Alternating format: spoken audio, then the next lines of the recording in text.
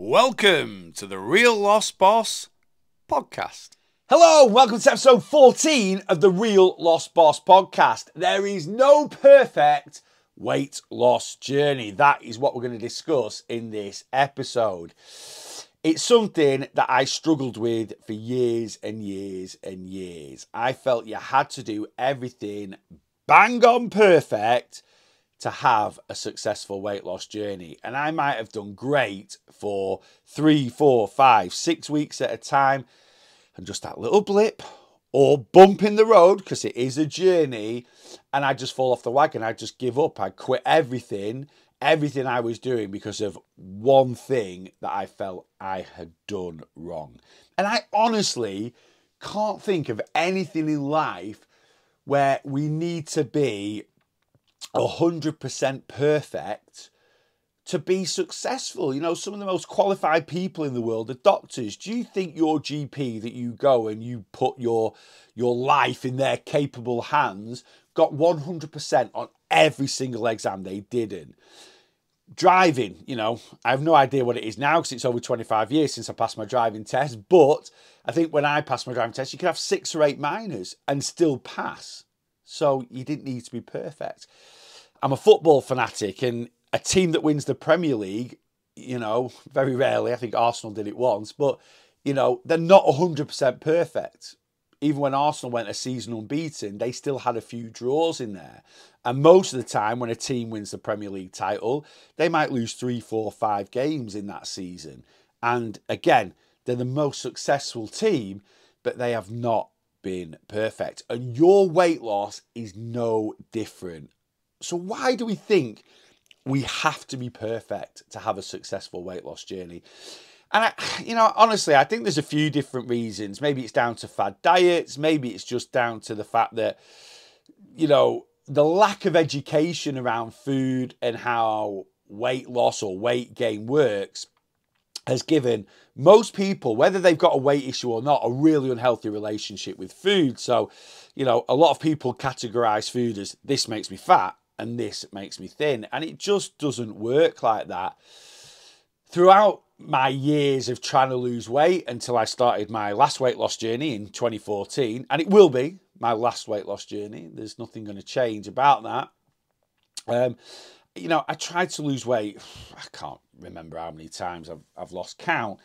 And I'm not saying this is the only reason why I failed on a weight loss journey, but definitely, you know, a lot of the times that I failed on my weight loss journeys um, was because that little self destruct button that you press when you just have, as I've already said, that one little bump in the road, that little blip. I remember probably maybe 20 years ago doing the uh, the Slim Fast plan. And um, shake for breakfast, 200 calories, shake for lunch, 200 calories, and then you have like meat and veg for your tea. And basically, it was 800 calories a day.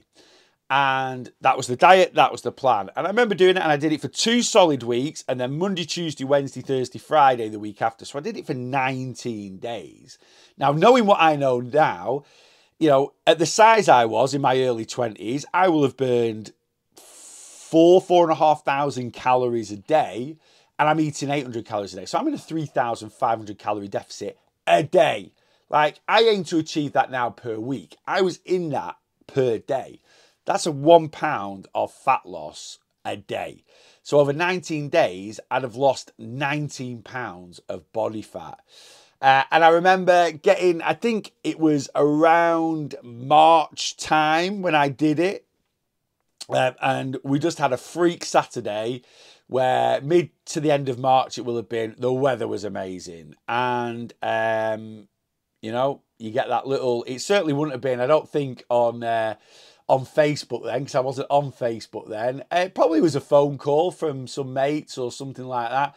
Uh, I did have mobile phones then. Um, okay, have you seen the weather? The sun's shining. Do you fancy the pub? Yes, of course, I fancy the pub. And I went to the pub for the day and had a good few beers. And I woke up on the Sunday and I was hungover and I had a hangover day.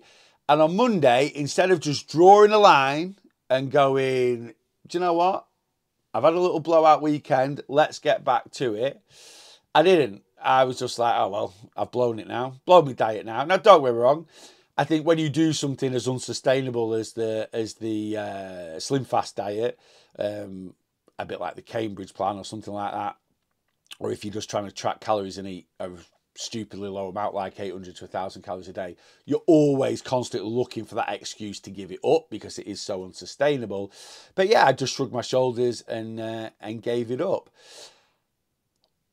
To have a successful weight loss journey, we do have to get into our mentality that there is no such thing as a perfect weight loss journey. And we've got to stop setting these like parameters, is it, or goals, should I say, um, that are just so unachievable long term. One of my big sayings is a long term problem will always require a long term solution. And for most people, a weight issue is a long term problem. So if we're going to do something that basically we're setting ourselves up to fail before we even start, uh, yeah, the chances of success is going to be very, very limited. So what do we do that that you know, or what do we set ourselves? These goals that we set ourselves, um, that just means or make, basically makes it impossible for us to be perfect. The common one is food and it's cutting out whole food groups. Now, that might be cutting out carbohydrates, very, very common with the keto plan, or it might just be cutting out, you know, I'm never going to eat a takeaway till I hit my goal weight. I'm never going to eat, um, you know, chocolate until I hit my goal weight. Foods that you feel you you massively overconsume, you go from one extreme to another. You go from over uh, consuming these foods to just banning them out of your diet altogether. And we feel that that is the right thing to do. And it really, really isn't. What we have to do with food is learn some self control. We have to. Because there's always going to be temptation to eat all different types of food. And that temptation will never be demonized enough in society to, to help you. And what I mean by that is, I never know quite how to phrase it, but if someone's been an alcoholic right? And they walk into a pub and someone says, Would you like a drink? And they go, and, and they don't really know who that person is, or, you know, it might be a meeting, or you might be on a first date, or it might just be you're out with a friend and then another friend walks in and you're not kind of in the same uh, circle or your two friends aren't in the same circle, whatever. They say, Oh, it's my round, what you having? Uh, I'm just having a Diet Coke. Oh, don't be so soft, have a pint. I'm a recovering alcoholic, so and you and literally the person that's offered him a drink, oh, sorry, I'm so sorry, so sorry, Diet Coke, not a problem, right? Straight away. If someone said to you, you went to like a kid's birthday party, or you went to a friend's wedding and and the wedding breakfast come out, the dessert come out, and it was you know chocolate fudge cake, uh, and you literally went, yeah, I'm not going to eat that. Why are you not eating it? I'm a recovering chocoholic people go, oh, don't be so daft. And that, honestly, I think that's one of the main reasons why, and it shouldn't be like that, but that's the way it is. And I think that's one of the reasons why it's so, so hard to quit foods. And there is really no reason to quit foods. You know, there's actually no major evidence to show food is an addiction. It's more a very bad habit, though I do believe there is a type of food addiction, but where you might get massive withdrawals from things like nicotine when it comes to smoking and alcohol or you know uh, certain types of drugs, like I say, there's no major evidence about that food has that, but it is a habit thing. Anyway, I'll do another podcast on that. Uh, anyway, so yeah, it's very very hard to to to cut foods out, and there really is no no need. Now, don't get wrong; it takes a lot of effort to learn self control, but you can do it because I have done it, and I'm not a special person. I'm not an anomaly. I'm not, you know, some random freak of nature. I'm not, and I've taught a lot of my clients self control when it comes to food as well. Anyway, so setting yourself out these goals. I'm not going to eat this. I'm not going to eat that. Likewise, what else do we do on a weight loss journey when it comes to uh, setting out this this perfect, you know, sort of thing that we're going to do to to to absolutely smash our weight loss? Um, fad diets. Fad diets set out this strive for perfection. You know, um, Slimming World. I know it's a bit of a contested thing about whether you can bank cal- uh, sins. Sorry, um, so if you go to Slimming World, you get 15 sins a day, and you can bank them daily, uh, and then use them all up on a Saturday night. I know it's not officially in the Slimming World plan, but I know some people that have done that in the past, and I kind of get it. It certainly works better than sticking to the same amount of sins every every day. But anyway, the sin thing is just way too restrictive. It sets out like you know, a perfect form of eating where calorie dense foods are only going to make up an extremely small uh, proportion of what you eat on a day to day basis. And again, it's striving for for perfection and it isn't going to happen. Likewise, like I've already said, cutting out food groups, doing the keto plan, you're not allowed to eat carbs. Um, again, is that going to happen for a long period of time? Not for many people, it's not. Uh, other things we put into place. Uh, and again, this is down to a little bit of a, a whole bad relationship with weight loss on a whole, but uh, things like exercise. We put so much emphasis on exercise, and you need to go to the gym every day. And I always call it the January syndrome. And I noticed this.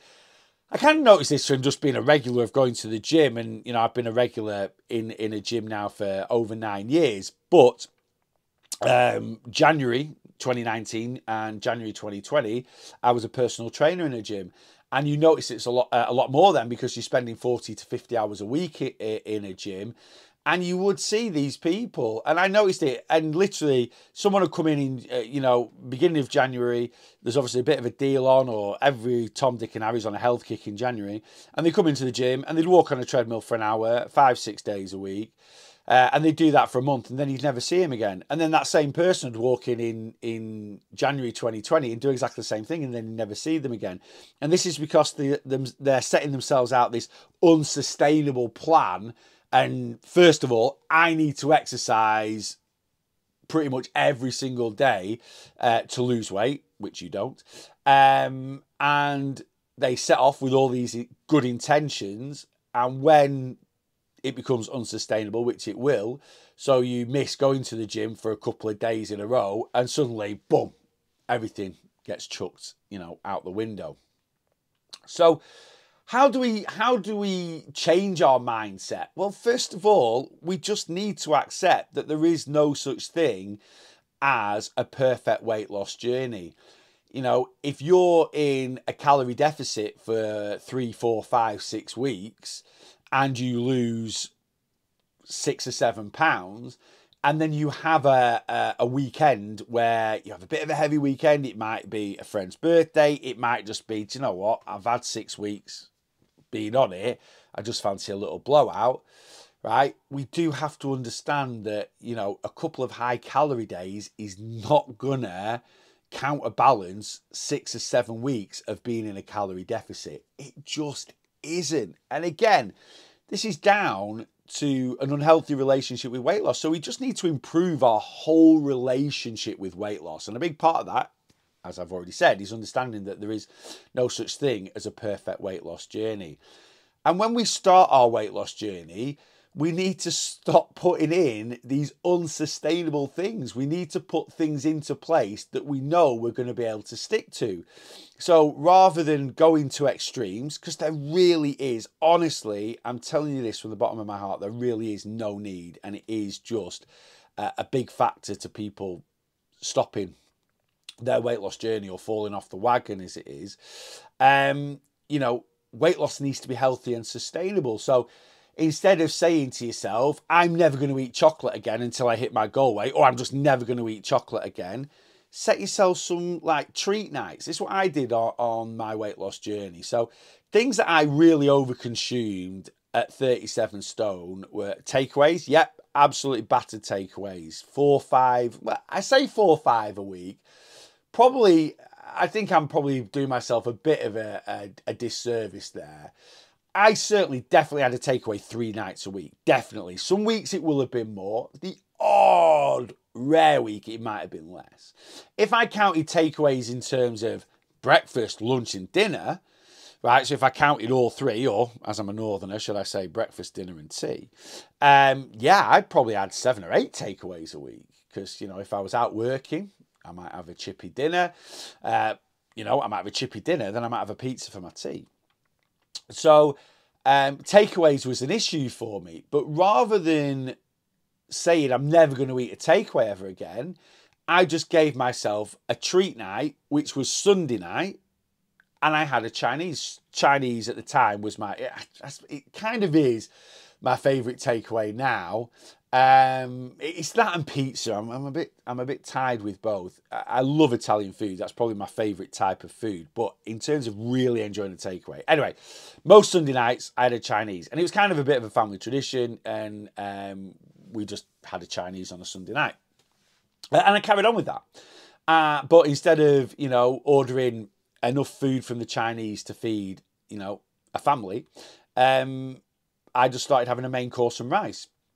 And last Sunday of, of the month, I had a starter main course and rice because it was last Sunday of the month. Just give myself a little treat as it's the last, you know, Sunday of the month. Um, I also had a chippy tea most Wednesday nights. I didn't actually, it was a takeaway, of course, but I didn't class this as like a takeaway because I had what I classed as quite a lean chippy. So I used to get a large, very lightly battered fish. So I used to go in the gym and say, can I batter it as lightly as possible, please.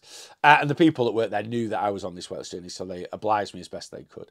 Uh, and I used to get a large mushy peas, and I actually didn't class that as being something that was. But still, I had that most Wednesday nights. Again, family tradition. Uh, chippy tea Wednesday night, Chinese on a Sunday night. Also, I used to drink way too much alcohol. Uh, and instead of going, I'm never going to drink out. So sorry, let's just go back to the takeaway thing. So instead of going to these extremes of, of, of having probably takeaway, if I count all main meals, breakfast, uh, dinner, and tea, having eight a week or maybe a few more than that, uh, I went to having the ma- a maximum of two you know, a maximum of two. So it was making a compromise, not a sacrifice. Another big saying of mine. Likewise, yeah, like I just said, I used to drink too much alcohol. And in terms of going to the pub and drinking, um, yeah, rather than saying I'm never going to go to the pub ever again, I still used to go every Friday night. Still see my mates, still have a couple of beers. On a Friday when I went to the pub, I used to go to the pub as soon as I finished work, or certainly by mid afternoon, I'd be in the pub, and sometimes I'd be there till four, five o'clock in the morning. And on my weight loss journey, still went to the pub on a Friday, but I used to go about half seven, eight o'clock at night time, and I'd finish at 10, and I'd just have four pints. I'd literally give myself, um, yeah, four pints, and I'd either have a bag with my last pint or take a bag home with me and enjoy it in bed when I got home, a bag of pork scratchings. Again, a compromise, not cutting things out, not trying to do this. I'm never drinking again. I'm never eating takeaways again. Just being a lot more responsible with the things that I felt, you know, I abused, right? That certainly were calorific or, you know, affected me controlling my calories. Um, you know, and that's what you need to do. You need to just be more responsible certainly with things that um, that you that you abuse. And like I say, if you've got a massive problem with alcohol, yeah, you might need to quit it. I did have it. I drank way too much, but looking back at it, back at it, I drank too much, and I know I've done a podcast on on alcohol and, and weight loss. I do feel I drank a lot because I was lonely and because I didn't have anything else in my life. As soon as I put more things into my life, from losing my weight, like going to the gym and stuff, that really cut down. It would have naturally cut down on it anyway.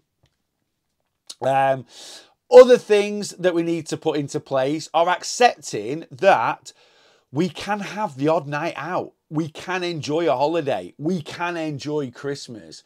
If we actually think about it, you know, no one has a weight issue because they enjoy celebrating their birthday or because they enjoy Christmas or because they go to Tenerife or Benidorm once or twice a year, all inclusive for a week, right? No one. If you say, you know, you go on holiday twice a year, that's 14 days. And then Christmas is another week. So that's 21 days. You enjoy your birthday and maybe a hangover day afterwards, that's 23 days your best friend gets married or you go to an all day wedding maybe once a year and, and again enjoy the wedding day and a hangover day. You then have you know barbara's 50th one night and your mum and dad's wedding anniversary. Let's say throughout the year you have 36 days or 36.5 days if you want to be pedantic where you don't give a toss about calories. You do what you want yeah? That is only 10% of the year Why we have a weight issue is what we do the other 90% of the year. If you spend every day like it's your birthday, or like it's Christmas Day, or like you're at your best friend's wedding, or celebrating Barbara's 50th, that is the issue. And again, so when we have these little, what we might class as a little bump in the road, and that's all it is, yeah, um, we need to accept that's part of life. And another saying of mine, I'm coming out with a few of them in this podcast. If you try and either live life or do weight loss, you are going to fail at both. Your weight loss journey has to be part of your everyday life, and you have to accept you can't be perfect all the time. Same with exercise. You know, exercise is the direct effect of exercise on weight loss is a little bit irrelevant, if I'm being totally honest with you. Yes, it burns some calories, uh, but that's the only direct effect, and you don't burn as many calories as you think. Um, Greg Wallace, the guy that does MasterChef and uh, a few other bits and pieces, he goes around factories looking at different foods. He's lost a lot of weight, like five stone. And, and one of his videos popped up on TikTok the uh, the other week, and I actually quite liked it. It sort of resonated with me what he said, and he said he said about exercise. It's something I've talked about a lot, um, but I just like the way he put it. And he said, You go to a gym and you see people all different shapes and sizes, yet they are all exercising. So that just shows it's not the exercise that causes the weight issue or helps with weight loss, it's what we do in the kitchen basically it's what goes in our mouths and and he's right you know i know i've got friends that go to the gym five times a week train really really hard um, but they do have a weight issue, and that's because they they struggle to control, you know, what they eat, because that is the main the main sort of focus. So again, if we're going to uh, put things into our life like doing some regular exercise, trying to dedicate an hour a day, six days a week, plus commuting to the gym, commuting back from the gym, having a shower and getting changed afterwards, you know, that can take probably two hours out of your day. You times that by five or six, and you're taking 12 hours out of your week. That's a lot of time to dedicate. And for a lot of people, again, they're going to struggle with that to be consistent. So, yes, there is no perfect weight loss journey. An analogy I like to use is a journey. I do, you know, weight loss is a journey, and we're all on the same journey. We're just at different points of it towards the destination.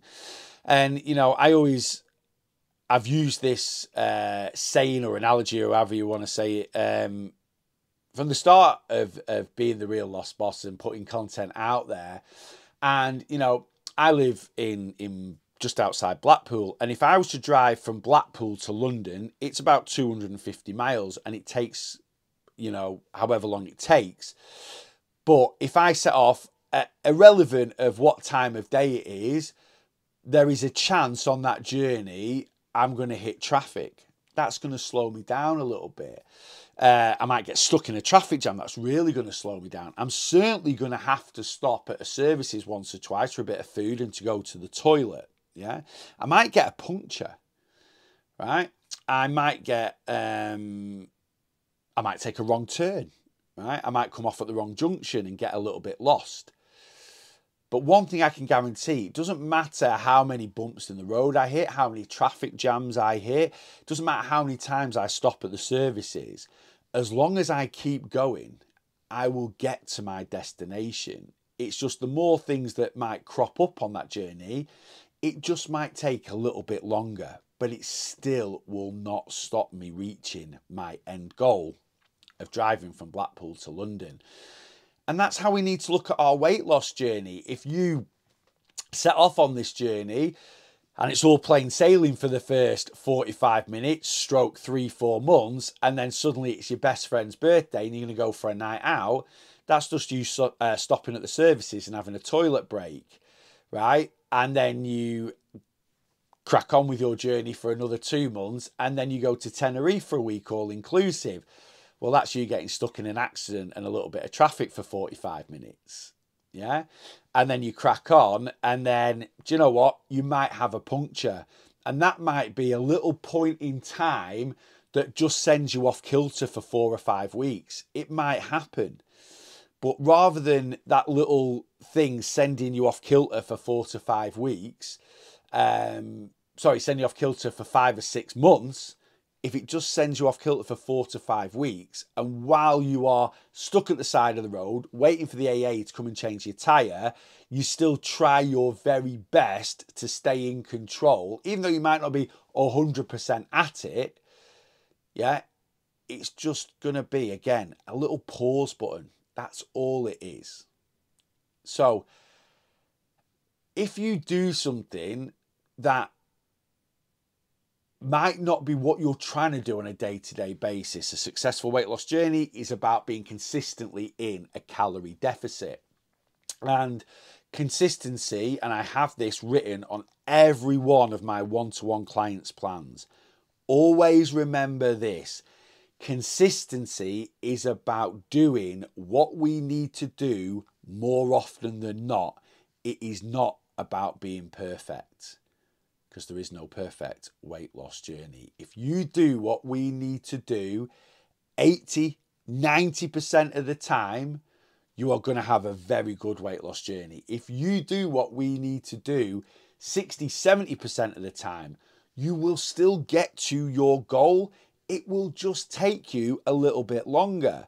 But if it takes you a little bit longer and that makes the journey less restrictive and less feeling like it's a chore or hard work, then it's worth extending the time it's going to take to get to that goal. So change your mindset. Understand there is no perfect weight loss journey. Every little high calorie day here and there, a week's holiday in Tenerife, a week in Christmas, a week at Christmas, enjoying yourself. Yeah. And another thing before I wrap this podcast up, we also need to understand there are certain points in time where weight loss doesn't need to be the priority. Again, coming back to Christmas, the priority at Christmas is making memories with friends and your family and having fun. Because we just get back to our journey in January. Likewise, going on holiday with your kids. Kids grow up quick cherish the time with them at certain points and shuffle that weight loss priority pack. There's absolutely nothing wrong with that for the odd week here and there because, like I say, all it is on your journey is a little bump in the road, a little stop at the services for a pee break, you know, or maybe a little bit of where you're stuck in traffic because there's been a bit of an accident or there's some roadworks. So, finally, I think I've said it about six times in the last few minutes we have to understand and we have to appreciate to have a successful weight loss journey. We are not striving for perfection, we are striving for consistency. And consistency is about doing what we need to do more often than not. It's not about being perfect. Why? Because there is no such thing as a perfect weight loss journey. There you go. I got there in the end. Uh, guys, I hope you've enjoyed that one. I hope you found it a help. It's, uh, you know, designed to try and change your mindset, which is something we really have to work on when it comes to having success on our weight loss journey. We do have to change our whole relationship with weight loss. Um, there you go, whatever format or platform you're watching this on, please follow, like, subscribe, leave me a comment, all that jazz. That would be absolutely superb. Uh, and until next time, as always, I hope this helps you boss your weight loss.